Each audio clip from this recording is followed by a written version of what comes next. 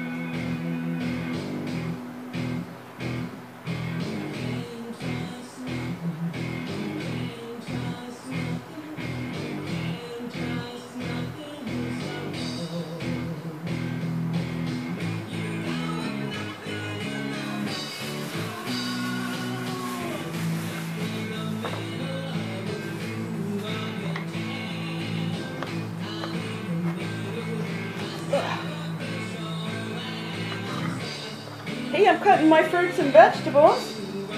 This is my summer squash from my garden. I'm chopping it up.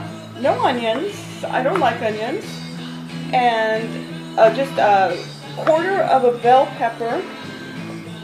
Some mushroom. And some garlic.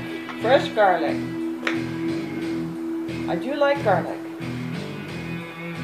And now the important part cooking these squash is to not overcook them. Thing is, you get to a point where they're perfect, you cannot put the lid on. That's how you can really ruin it. Just the smallest bit between al dente and overcooked.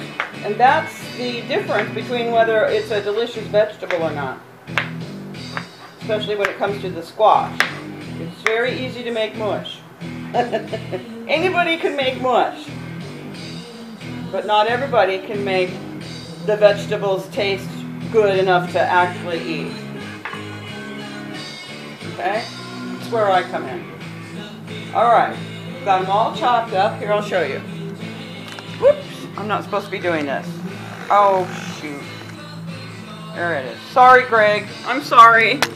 Oh, everybody, I wasn't supposed to talk. I forgot. Sorry.